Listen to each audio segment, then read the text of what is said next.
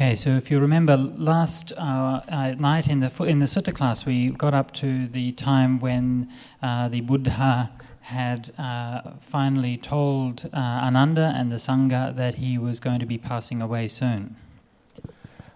Jadi kalau Anda ingat, kita sudah sampai pada saat Buddha memberitahukan Sangga dan juga Ananda bahwa beliau akan segera meninggal. Uh, and here we have the Buddha got ready in the morning, took his bowl and robe, went into Vesali for alms. After the alms round and meal on his return, he looked upon Vesali with the elephant's look and said to the Venerable Ananda, This, Ananda, is the last time that the Tathagata will look upon Vesali. Come, Ananda, let us go to Bandagama. So, this uh, elephant's look that the Buddha uh, had, it said, it said that when the Buddha turns around, he turns with his whole body, like an elephant does. So he doesn't just sort of glance over his shoulder, but he turns around. So this is the idea of the elephant look. Jadi sang Bagawa di sini sedang bersiap-siap membawa patahnya, memakai jubahnya, pergi menuju uh, Vesali untuk pindah patah. Setelah pindah patah dan uh, makan makanannya, kemudian dalam perjalanan pulang, uh, sang Bagawa menatap Vesali dengan pandangan seekor gajah dan sang Bagawa mengatakan kepada Ananda, ini Ananda adalah terakhir kali sang Tathagata memandang Vesali.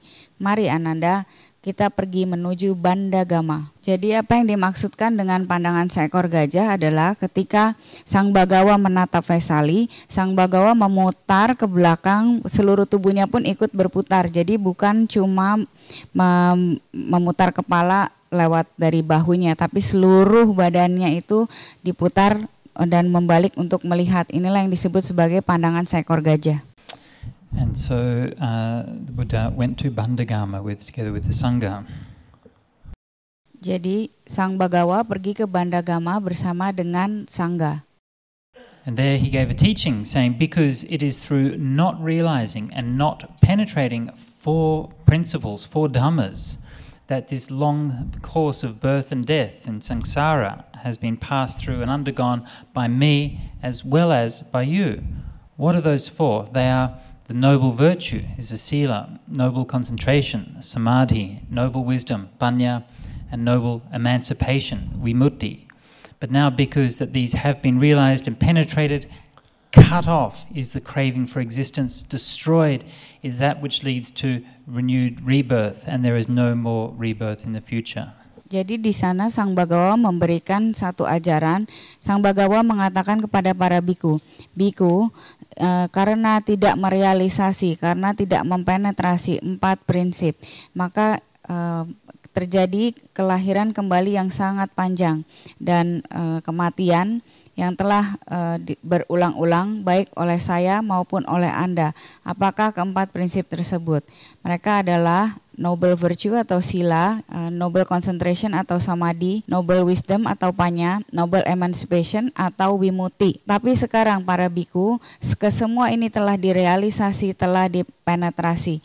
Oleh karena itu, nafsu keinginan untuk jadi telah diputuskan, telah dihancurkan apa yang uh, menyebabkan kita selalu terlahir kembali, sehingga pada saat ini tidak ada lagi kelahiran kembali.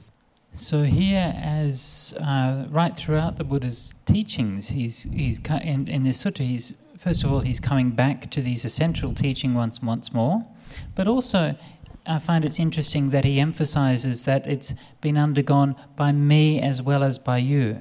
So the Buddha is always um, uh, emphasizing the connection between himself and everybody else. He's saying, This is the way that I've practiced to realize that truth, and you also can practice that same way to realize that same truth.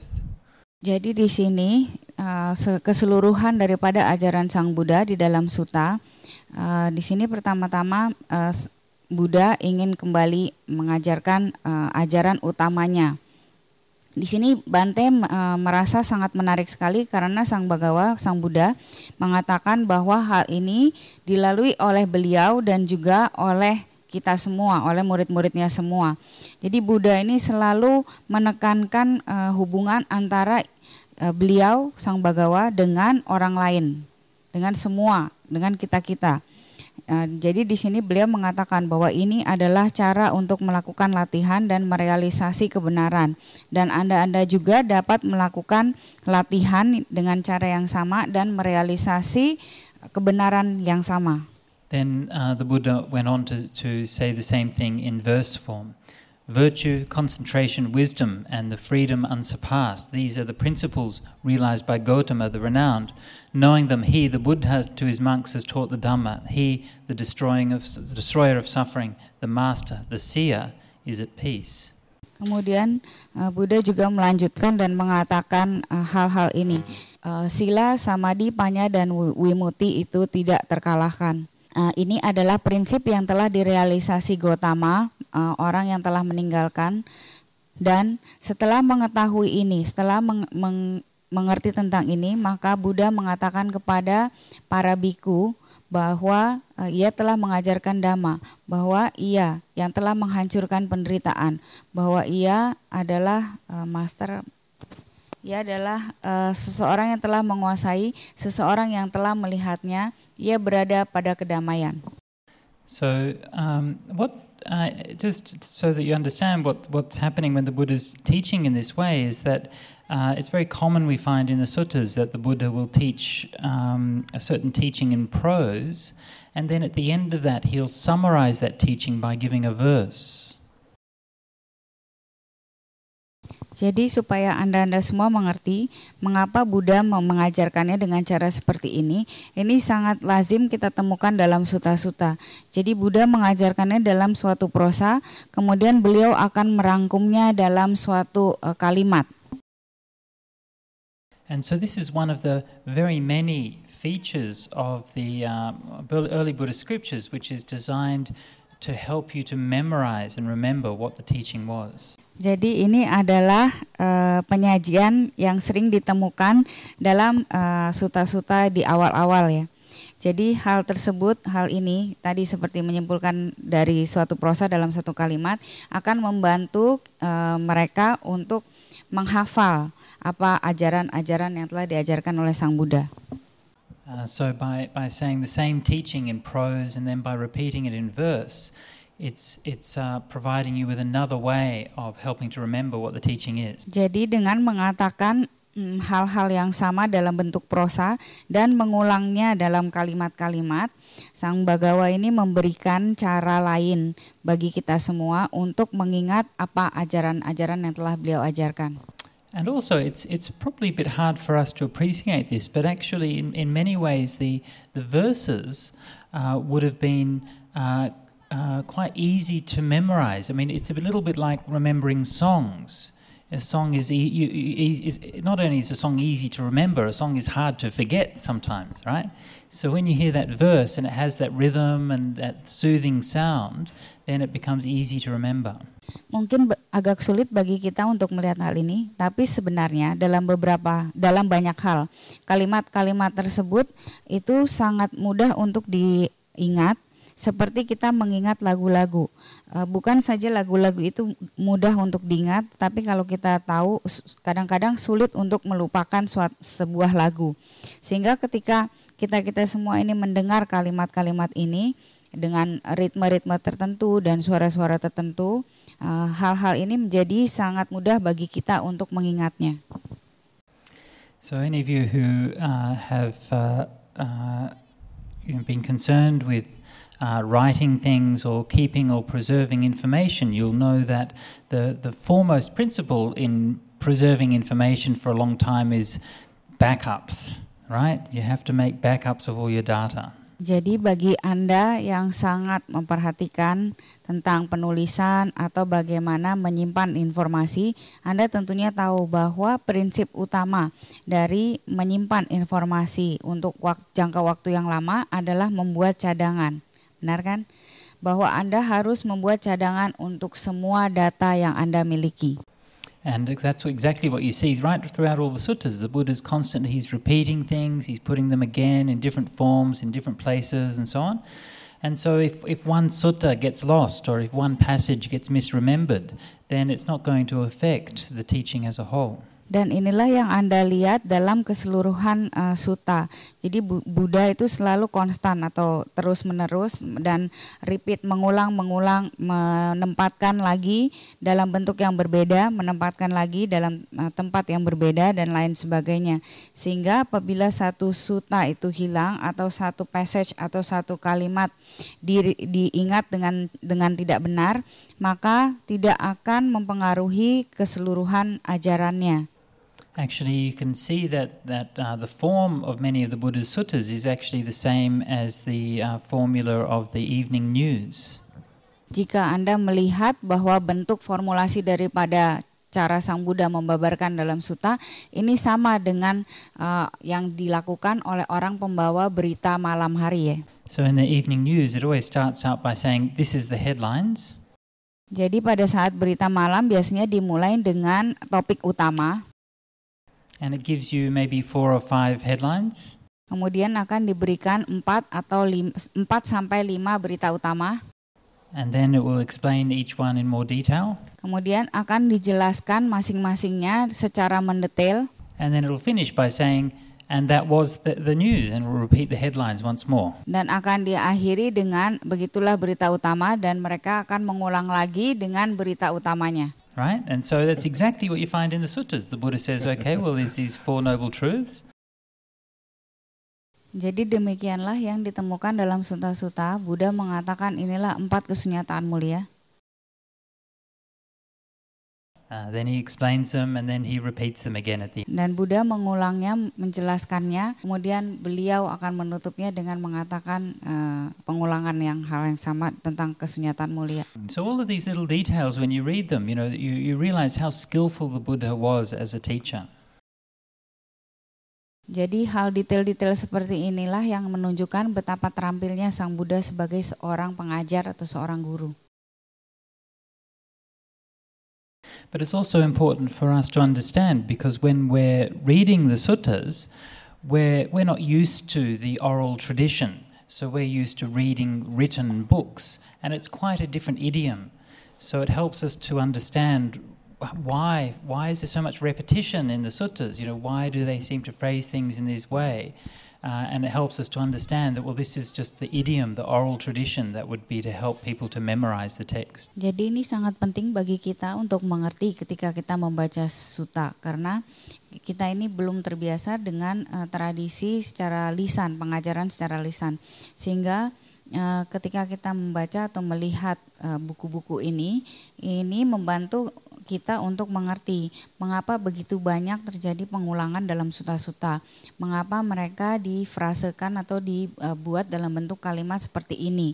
Ini membantu kita untuk mengerti bahwa ini adalah hanya perumpamaan-perumpamaan yang harus dibuat dalam tradisi uh, pengajaran secara lisan sehingga orang-orang pada saat itu dapat terbantu untuk mengingat uh, teks-teks yang tertulis. Okay, so then while he was staying in the same village of Bandagama, the Buddha once more taught the bhikkhus very often about sila, samadhi, and panya. Begitu juga ketika Sang Bagawa uh, menetap di Bandagama, Sang Bagawa juga memberikan ajaran yang sama kepada para biku tentang sila, samadhi, dan panya. Then he said to Ananda, Let us go to Hatigama. So he went to Hatigama together with a large sangha of bhikkhus. Dan kemudian Sang Bagawa mengatakan kepada Ananda, marilah Ananda kita menuju ke Hatigama. Dan Sang Bagawa menuju Hati, Hatigama bersama dengan uh, komunitas biku yang besar. Once more at Hatigama, he spoke to the bhikkhus very often about sila, samadhi, and panya. Begitu juga di Hatigama, Sang Bagawa um, mengatakan hal ini, sering sekali mengatakan hal ini kepada para biku, yaitu tentang sila, samadhi, dan panya. And you can see again with these these passages. I mean, obviously, you know, there's a great emphasis on this teaching of sila, samadhi, panya. One of the things that you find if you're reciting the scriptures rather than reading it if you're reciting it as they were meant to be recited. When you're, when you're reading these repetitious passages, they tend to be a bit boring. You tend to sort of skip over the same one again and again. But when you're reciting them, you actually look forward to the repetitious passages, right? Because it's a bit of a relief, yeah, to do the same one again. It gives you sort of a bit of a rest, and you can sort of just get into the rhythm and, and contemplate the meaning of the words rather than always having to be thinking, hang on, what bit comes next? So you, you actually relate to the, um, it, it, creates a, a rhythm and a flow in the text to have all of these repetitious passages. Jadi dari kalimat-kalimat ini uh, Buddha selalu menekankan tentang sila samadhi dan panya. Jika seseorang melafalkan bukan membaca, karena kalau Anda membaca uh, kalimat-kalimat yang diulang, tentu saja cenderung menjadi boring atau membosankan ketika kita membaca hal yang sama lagi dan lagi.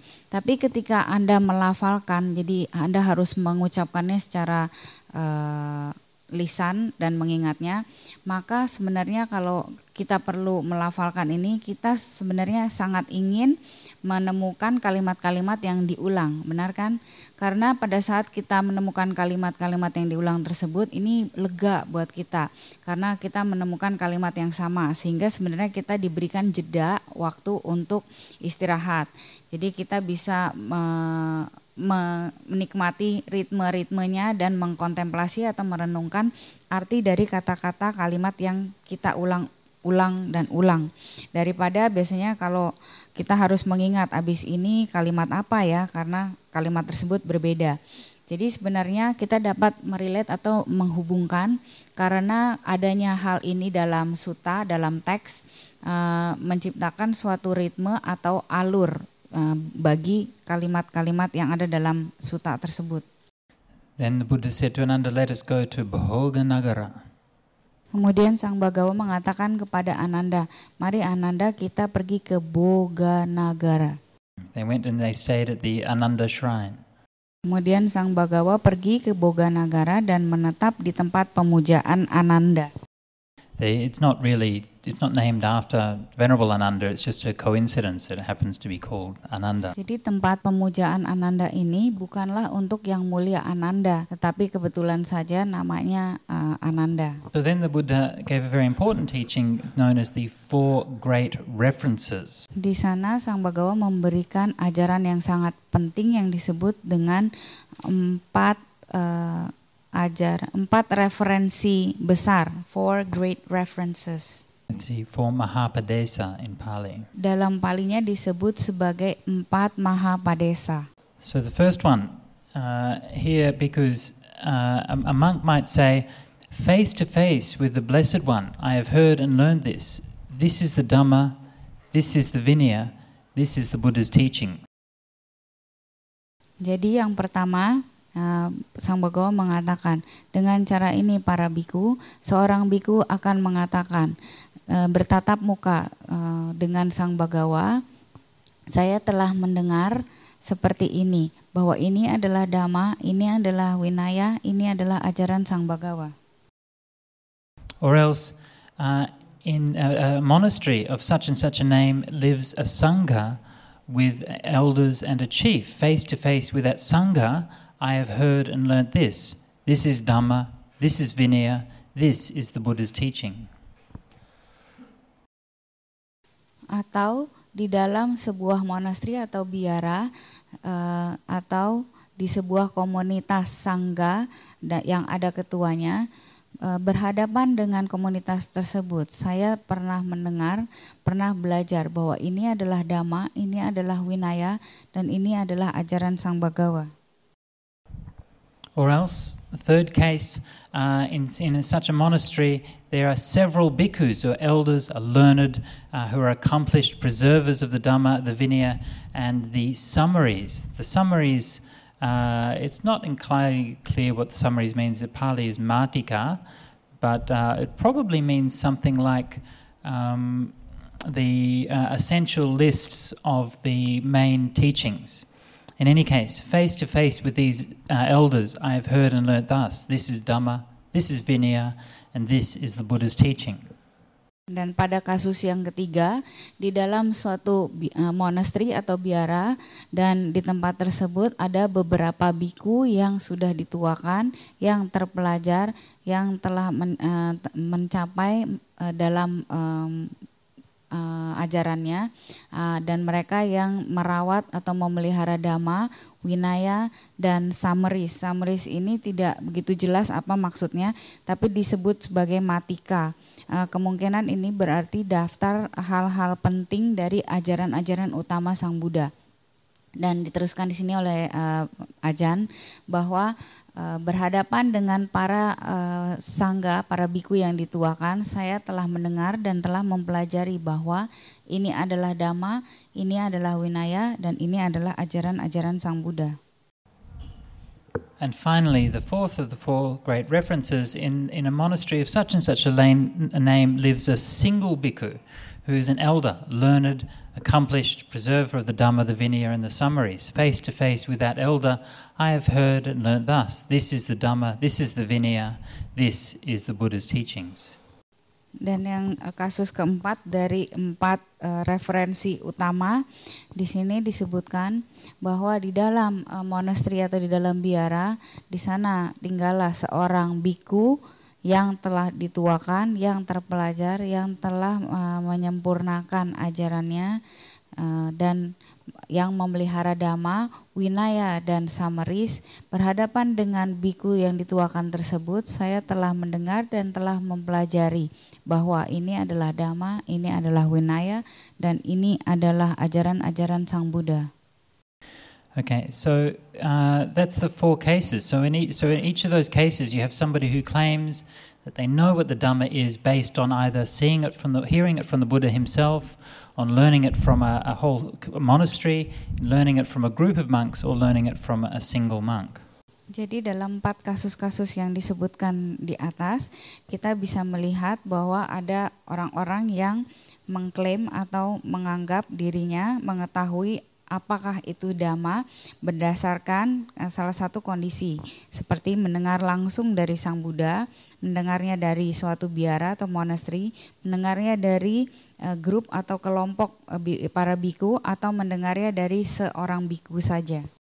And so the Buddha goes on to say in each one of those cases that that bhikkhu should neither be received with approval nor with scorn. So, without approving them, without scorning them, without criticizing them, but carefully studying the sentences word by word, one should trace them in the, in the suttas and verify them by the Vinaya. If they cannot be traced in the suttas or verified in the Vinaya, one must conclude thus certainly, this is not the Blessed One's uh, utterance. This has been misunderstood by the bhikkhu or by that sangha, or by those elders, or by that single elder. In that way, because you should reject it. Kemudian Sang Buddha mengatakan seperti ini, bahwa dalam setiap kasus seperti itu para biku, pernyataan seperti itu para biku janganlah diterima langsung dengan persetujuan, juga jangan dikritik. Jadi tanpa persetujuan dan juga tanpa kritik, tetapi dengan mempelajarinya secara seksama kalimat tersebut, kata per kata. Seseorang harus mencoba mencarinya atau melacaknya di dalam suta dan memverifikasinya di dalam winaya. Jika mereka tidak dapat ditemukan atau dilacak dalam suta ataupun dia dapat diverifikasi di dalam winaya, maka seseorang harus menyimpulkan seperti ini. Tentunya ini bukanlah apa yang dikatakan oleh Sang Bagawa. Tentunya ini telah disalahartikan oleh biku tersebut atau oleh komunitas tersebut atau oleh beberapa uh, para biku yang dituakan atau oleh seorang biku yang dituakan. Dengan cara tersebutlah para biku Anda harus menolaknya. Okay. Uh, but if the sentences concerned are traceable in the suttas and verifiable by the Vinaya, then one must conclude thus. Certainly, this is the Buddha's saying. This has been well understood by that bhikkhu, or by that community, or by those elders, or by that single elder. And in that way, bhikkhus, you may accept it on the first, second, third, or fourth reference. These bhikkhus are the four great references for you to remember.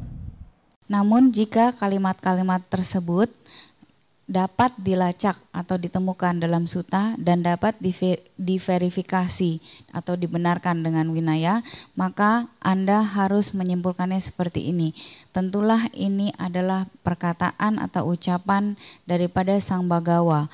Ini telah dimengerti dengan benar oleh biku tersebut atau oleh komunitas tersebut atau oleh kumpulan-kumpulan para biku yang telah dituakan atau oleh seorang biku yang telah dituakan dan dengan cara demikianlah para biku Anda dapat menerimanya dalam ke satu, kedua, ketiga dan keempat referensi karena inilah para biku adalah empat eh, referensi utama bagi Anda untuk mengingatnya. So here the Buddha is giving uh, once more uh, some guidelines to the community on uh, what to do after he's passed away. Jadi sekali lagi di sini Sang Buddha memberikan uh, satu guideline atau satu panduan bagi para komunitas untuk apa hal-hal yang perlu dilakukan atau dapat dilakukan setelah beliau meninggal. Of course, it's a question of, of such great and, and overpowering concern for the whole community. Tentunya hal ini adalah uh, suatu yang uh, sangat besar atau sangat uh, penting yang perlu diperhatikan bagi seluruh komunitas. In uh, one of the other suttas, we've heard that uh, recently uh, the uh, Niganta Nataputta, the, the leader of the Jain community, had passed away. Satu dari suta lainnya kita mendengar bahwa baru-baru uh, saja Anigata Anigata Jitaputa dari komunitas Jain telah meninggal. And after the community, after the after the leader died, the community broke apart. They were arguing they about the interpretation and understanding of their teaching. Jadi setelah ketuanya atau pimpinannya meninggal dunia, komunitasnya mulai tercerai-berai karena mereka mulai uh, berargu atau bertengkar atau berdebat tentang interpretasi dan pemahaman mereka uh, tentang ajarannya. Hmm.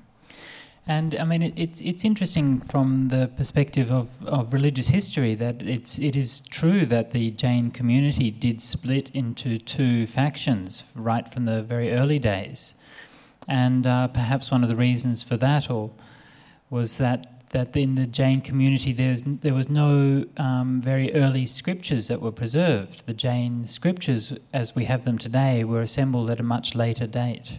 Jadi sangat menarik dari perspektif atau sudut panjang uh, sudut pandang sejarah agama bahwa uh, benar uh, komunitas Jain itu sudah terpecah menjadi dua uh, kelompok sejak awal-awal. Mungkin salah satu alasannya adalah dalam Jainisme ini sejak awal tidak pernah ada uh, suta atau skrip yang scripture yang dipelihara sehingga uh, scripture atau suta Jain yang ada pada saat sekarang ini sebenarnya dikumpulkan pada uh, masa yang lebih uh, lanjut. And of course, it's uh, obvious that in the Buddhist community as well that, that that eventually the community split into many different groups, but it took quite a long time for that to happen. Dan tentunya uh, sangat tampak jelas dalam komunitas uh, agama Buddha juga bahwa pada akhirnya uh, terpecah menjadi beberapa kelompok yang berbeda. Namun uh, hal tersebut terjadi per, memerlukan waktu yang terjadi untuk uh, jangka waktu yang panjang.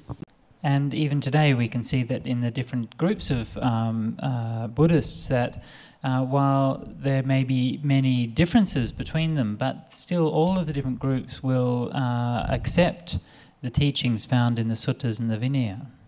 Dan bahkan pada saat uh, hari ini sampai sekarang kita dapat melihat bahwa dalam beberapa kelompok yang berbeda, dia tetap mengatakan bahwa walaupun uh, dalam beberapa kelompok yang berbeda tersebut uh, ada banyak perbedaan, namun tetap kesemuanya dari kelompok yang berbeda tersebut dapat menerima ajaran-ajaran yang ada di dalam suta dan winaya. Hmm.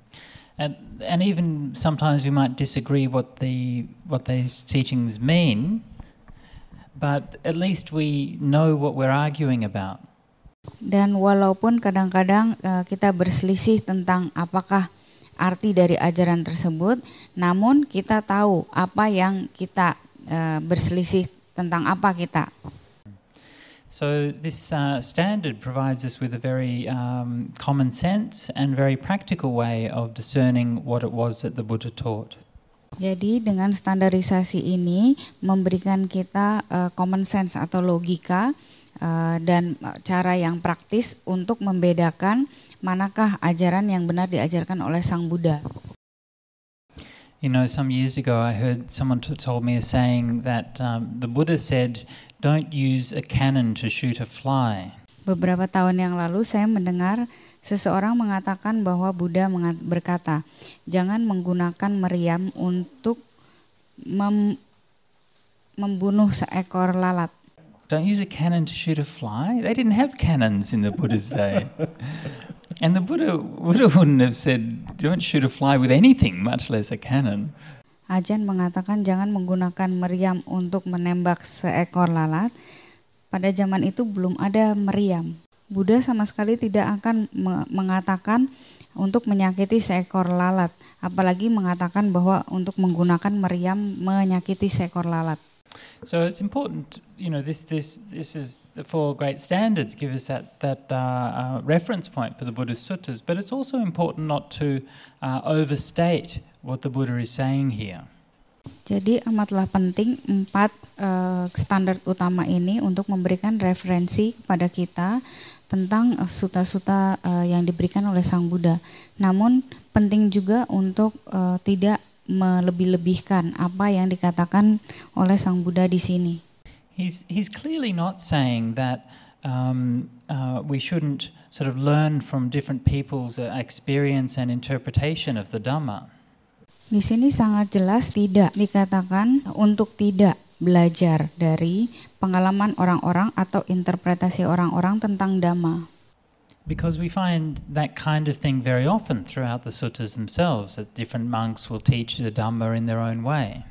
Karena kita menemukan bahwa seringkali di suta itu sendiri kita bisa melihat bahwa para biku yang berbeda mengajarkan dhamma dengan cara mereka masing-masing.